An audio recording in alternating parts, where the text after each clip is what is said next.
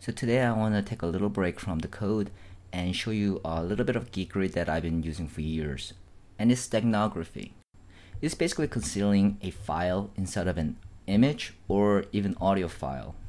This is just an introduction, so I won't be covering topics like cryptography or other way to secure it or even discover.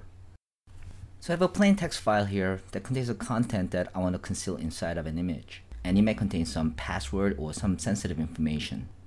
And this will be the image that I'll be using. And because I'm on a Mac, I'll be using an application called iSteg, and it's freely downloadable.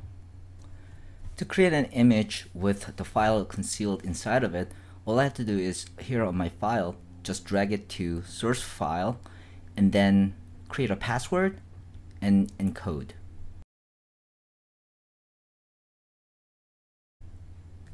File is now concealed inside of the image. To retrieve that file, I just do the opposite.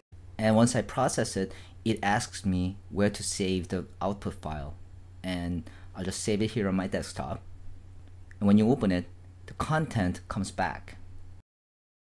On Windows, the application that you want to use is called S Tools, And as you see in here, for Mac, I use iSteg. There are a couple of things that you need to be aware of things like you want to encrypt on top of just uh, concealing it and putting it inside a file.